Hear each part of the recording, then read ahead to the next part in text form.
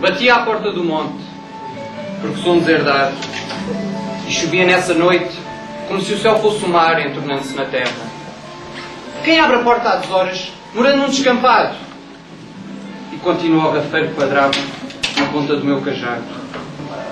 Mas veio abrir ao labrador, de espingarda na mão, e pôs um olhar alto, tão fundo nos meus olhos, que as minhas primeiras falas foram assim naturais. Guarda espingarda, senhor. Sou um homem sem trabalho. Ficar-me à lareira. E a filha do labrador, que era moça perfeita, ficou olhando de gosto, a minha manta rasgada e o meu fato maltês. Com licença do pai, estendeu-me um canto de pão com azeitonas maduras. Não aceitei como esmola. Antes roubar que pedir. Paguei com a melhor história da minha vida sem rumo. Foi uma paga de rei.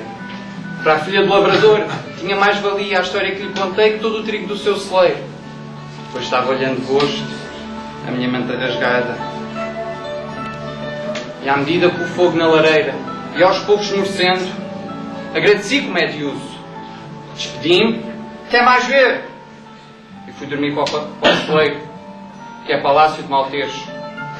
Até mais ver.